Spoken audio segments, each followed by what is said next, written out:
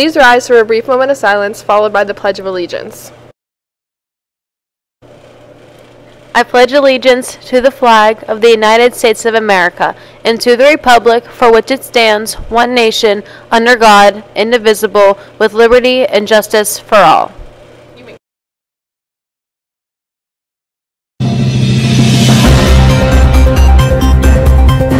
Good morning, New Brighton. Today is Thursday, January 19th, 2023. There will be a track meeting on Thursday, January 26th, 2023, during homeroom in the Little Theater. Anyone that wants to sign up for the track should email him at mstuber at nbasd.org and stop by his room to pick up the physical forms.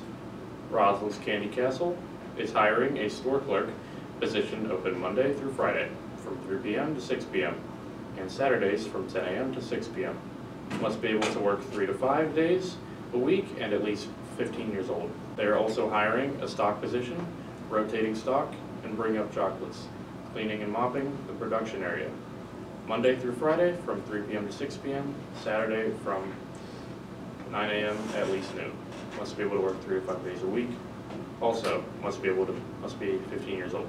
Contact Jennifer at rosalindcandy.com or call 724-843-1144 for more info. Attention juniors. If you plan on attending college, it is recommended that you take the SAT here in New Brighton on June 3rd, 2023. The deadline to register is May 4th.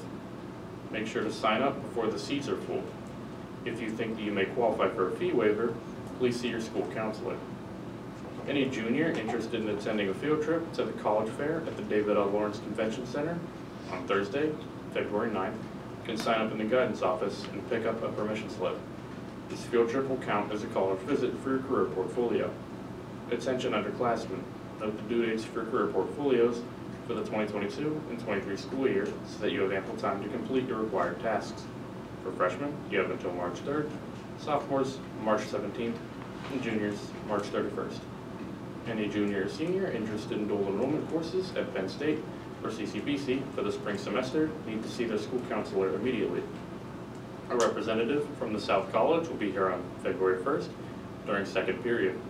South College offers Associate of Science programs in Diagnostic Medical Sonography, Radiography, Surgical Technology, Medical Assisting, and Health Science, pre-nursing.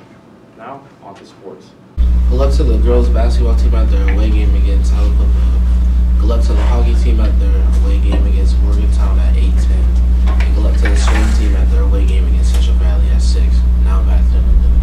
cloudy with a 90% chance of rain, with a high of 57 and a low of 36. Now back to the news. Today's lunch will be walking tacos, hot dogs, chicken salad, and pizza. The menu subject to change. Have a great day, New.